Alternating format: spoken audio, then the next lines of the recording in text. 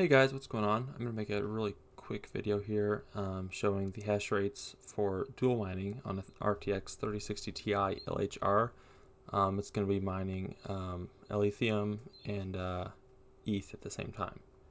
Alrighty guys, so uh, I let the T-Rex miner kind of set the uh, LHR and everything and auto-tune for a little bit here. Um, so anyways, it's settled in about on Ethereum. This is the stock settings. I have not messed with any overclocks yet.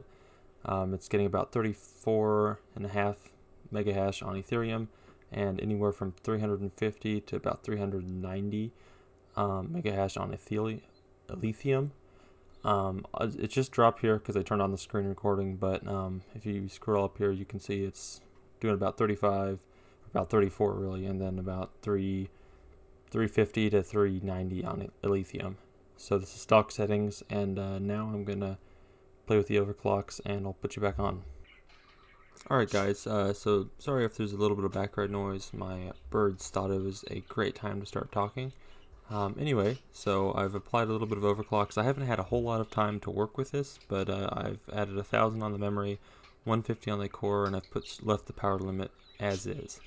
So with that, I was able to, well now that I started screen recording, it's lowered a bit, but I was getting about 400 mega hash on the Alephium and uh, it would it would go up a little higher too, like about 420 there, 418.6, and I was getting about 40 on Ethereum. It's gone down a little bit since um, starting screen recording, but uh, yeah. So with that, I was able to get about 40.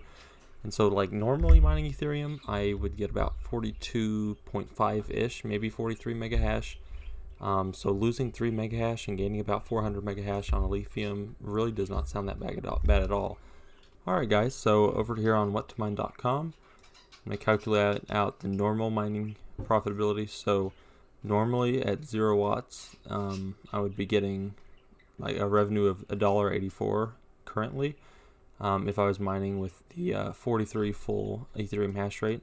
With mining Alephium, I can it goes down by three, so I'm getting a buck 71. All right, so for Alephium, mining profitability, I'm using the minerstat page here. So it's 400 mega hash, 4.4 gigahash. So in 24 hours, that's going to give me an estimated reward of one Alephium, about 1.02, and uh, that's about 58 cents.